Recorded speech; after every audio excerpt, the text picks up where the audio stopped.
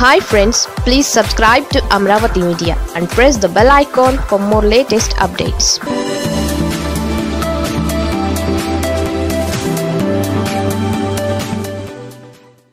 చెక్కు చెదరని జగన్ చరిష్మా తాజా సర్వేలో తేలింది ఇదే.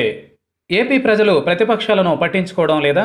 ప్రభుత్వంపై సానుభూతి కోణంలోనే ఉన్నారా? అంటే అవుననే అంటోంది. డెమోక్రటిక్ రిఫార్మ్స్ సర్వే జగన్ సర్కార్ రెండేళ్ళు పూర్తి చేసుకునే నేపథ్యంలో రాష్ట్రంలోని పలు జిల్లాల్లో ఈ సంస్థ సర్వే చేసింది.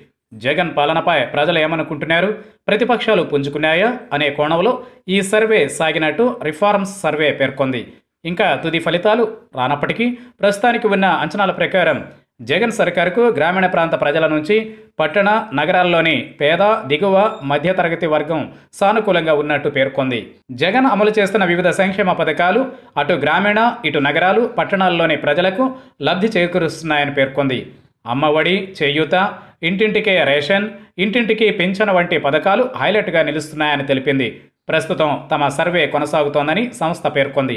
అదే సమయంలో మూడు రాజధానులపై సగం మంది ప్రజలు సానుకూలంగా ఉన్నట్లు తెలిపింది.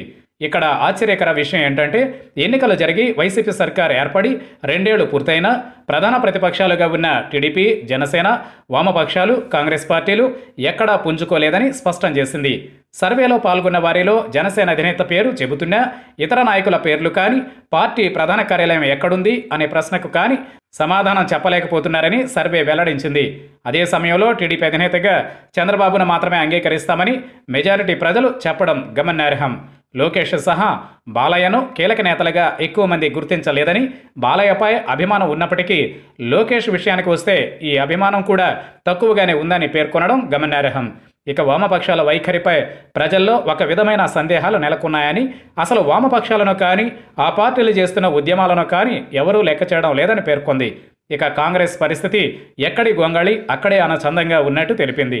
ఈ సర్వే తాలూకు పూర్తి వివరాలను ఆగస్టులో వెల్లడించనున్నట్లు సంస్థ వివరించింది.